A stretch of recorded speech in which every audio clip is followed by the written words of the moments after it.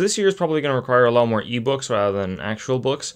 And I find that PDFs and reading off of files, there's a lot of white that's glaring at you. The page is white, the text is small and it's black and it's hard to see.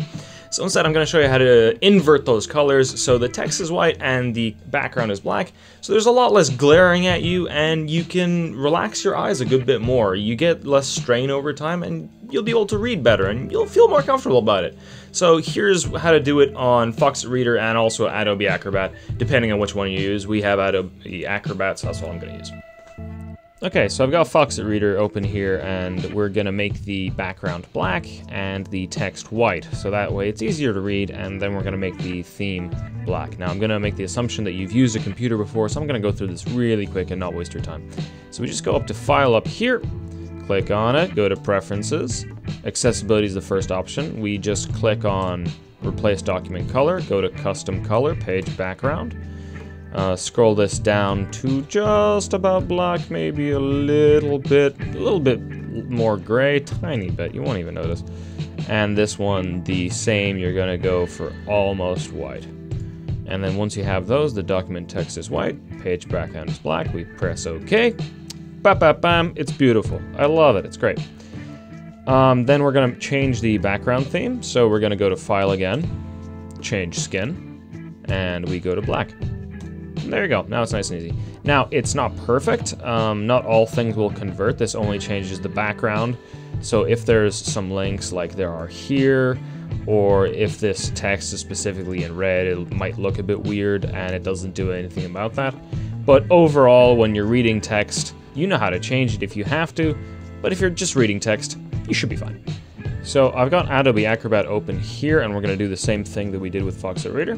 We're just going to go up to Edit, down to preferences. Uh, you can also do Control K on the keyboard.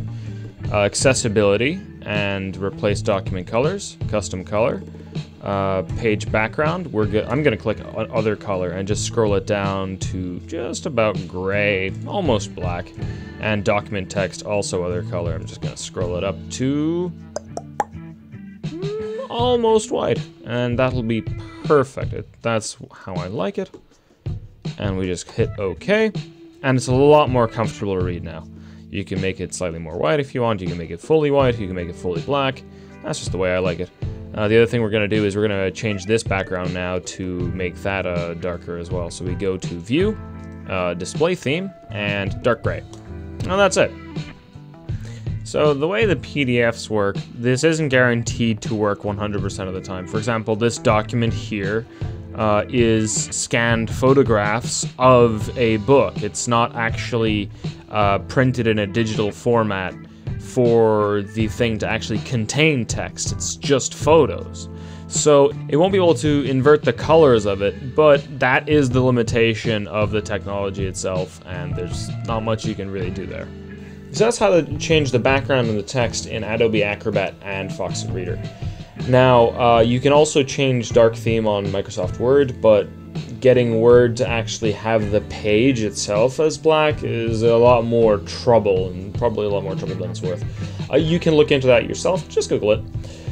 Um, you can also do other things as well. You can get uh, add, uh, you can get Google Chrome extensions uh, to change websites to be black, or you can get uh, Mozilla Firefox add-ons for the same. Um, you can also use a blue light filter on your computer so that when you're working late into the night or later into the evening, it reduces the amount of blue light and it can help your eyes uh, to strain less during the nighttime hours when everything's darker.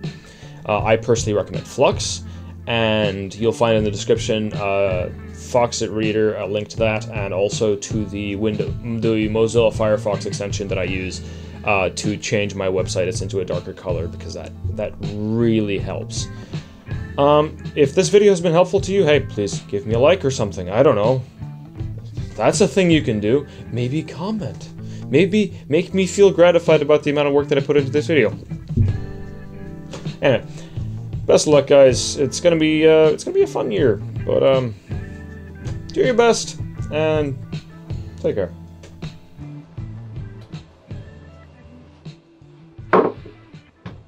Perfect.